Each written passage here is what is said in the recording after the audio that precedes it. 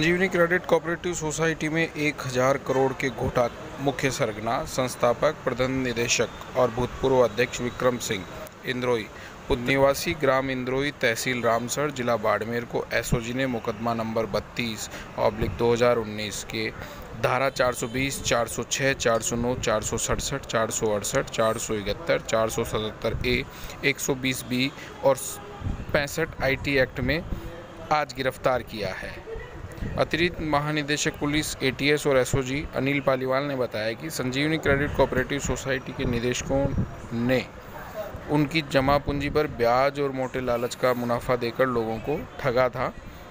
राजस्थान में 211 शाखाओं और गुजरात की 26 शाखाओं सहित भारत के दो राज्यों में दो सौ सैंतीस से ज़्यादा शाखाएँ खोलकर करीब एक लाख छियालीस हज़ार नौ सौ इक्यानवे लोगों से नौ सौ तिरपन करोड़ रुपए का निवेश कर ठगी कर ली।